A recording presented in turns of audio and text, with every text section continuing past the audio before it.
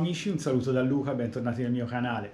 Oggi vi volevo spiegare di come organizzo mentalmente un'uscita di pesca, ecco, dal momento eh, del giorno prima, proprio come mi preparo a casa e poi cosa faccio in barca, quale canne apro per primo.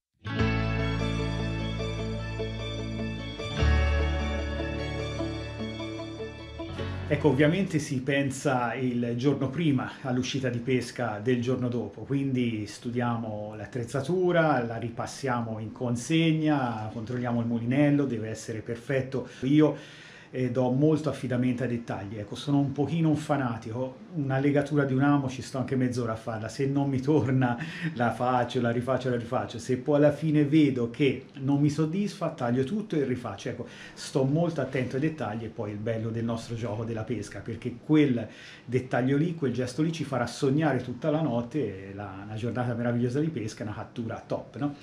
Quindi vediamo un attimino, abbiamo capito bene cosa fare, eh, voglio andare a pescare a Bolentino, oppure voglio andare a pescare a, a drifting, voglio andare a pescare a Incico, a spinning, ecco, la sera prima mi preparo mentalmente. E poi una volta in barca qual è la canna che apro per primo? È la, quella da spinning, ecco una canna da spinning deve essere sempre pronta, prima apro la canna spinning e poi accendo motori per scandarli. Questo perché?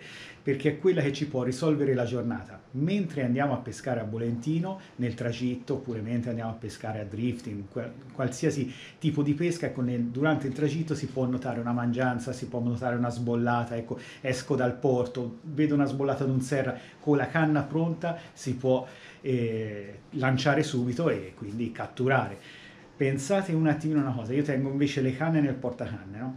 Esco, vedo una bella sbollata dal porto, una sbollata, prendiamo la sacca, dov'è la sacca? L'ho messa giù, tirala fuori, eh, ci ho messo eh, prima sopra davanti le cose, levale quelle, spostale, apri la sacca, prepara la canna, prendi il mulinello, lo metti nella placca, devi passare il filo, eh, quel momento è già passato tutto, quindi una mangianza, una sbollata, si può creare qualsiasi cosa, ma se non abbiamo la canna subito pronta, adatta da lanciare, ecco questo vanifica tutto, tutti i nostri sforzi. Quindi la prima canna che apro è una canna da spinning, a cui metterò un metal jig oppure un incico, a seconda dei casi, quindi anche queste due esche devono essere pronte, a portata di mano.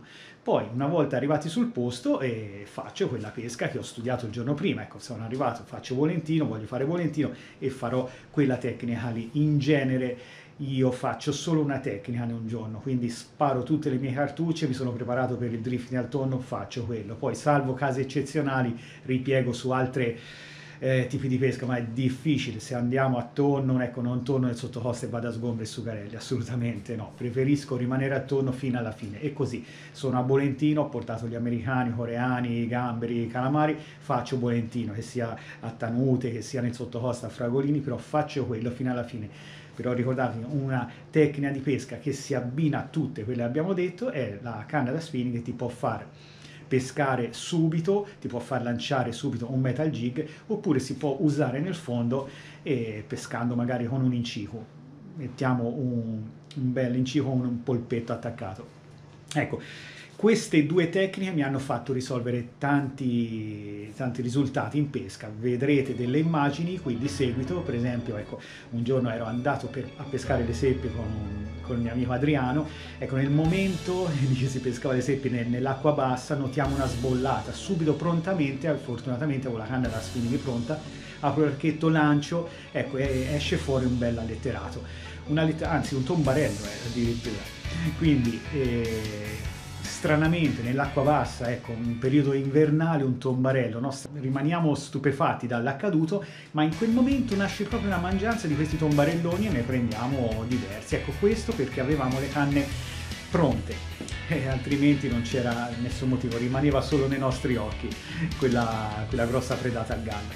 Un'altra tecnica che mi ha fatto risolvere giornate importanti ecco, è quella dell'incico. L'incico va manovrato nel fondo, il polpetto deve rimanere a stretto contatto con la sabbia, si può alzare proprio manovrarlo molto lentamente, comunque è a differenza del jig che va recuperato velocemente, ecco, questo questa testa piombata deve radere sul fondo, alza una nuvoletta e dietro il gonnellino del polpettino si deve eh, si muove da sé, si alza da sé, è molto molto catturante un abbinamento. Ora ecco, vedrete qui delle immagini, io fortunatamente un giorno ho presi un'ombrina bocca d'oro stupenda, ecco, anche quella era un'uscita così, pausa pranzo, non so che tecnica fare, apro queste due canne, mi metto in quel giorno lì a fare qualche seppia, però nel frattempo manovravo anche questo incico e ho catturato questa stupenda ombrina.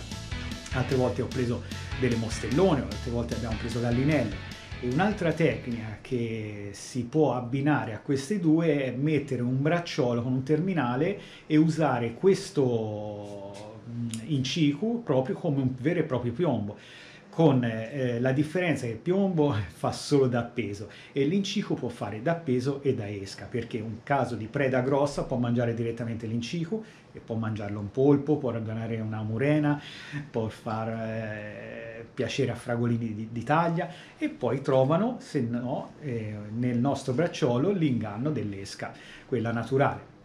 Ecco, quindi io mi regolo così, vado a pescare attorno, apro la canna da spinning o da incico a seconda, le tengo sempre pronte. Mi è capitato tantissime volte, soprattutto al mio compagno di pesca Adriano, è capitato di agganciare delle leccione spaventose proprio avendo pronte queste canne, ecco, sfruttare proprio al massimo tutte le occasioni. Non esiste tenerle nel fodero, io non le porto nel fodero e le lascio nel fodero fino a che non sono in pesca, ma le apro prima di accendere i motori. Queste due canne devono essere sempre pronte. Avete visto eh, qui tante immagini, sono state frutto ecco, dell'improvvisazione, ecco, avere l'esca pronta da lanciare. Questo è importantissimo, quindi consiglio a tutti voi di aprire sempre queste due canne. Bene amici, siamo anche oggi arrivati alla fine di questo video, un video molto veloce con qualche bellissima immagine, vi lascio qua sotto lo spazio per dei commenti, fatemi sapere voi le vostre impressioni su questi due tipi di pesca, a me piacciono veramente tanto, ecco, riuscire a catturare un pesce a nesca artificiale dà proprio anche il massimo della soddisfazione e poi le volte sono di gran lunga superiori a quelle naturali. Al prossimo video amici!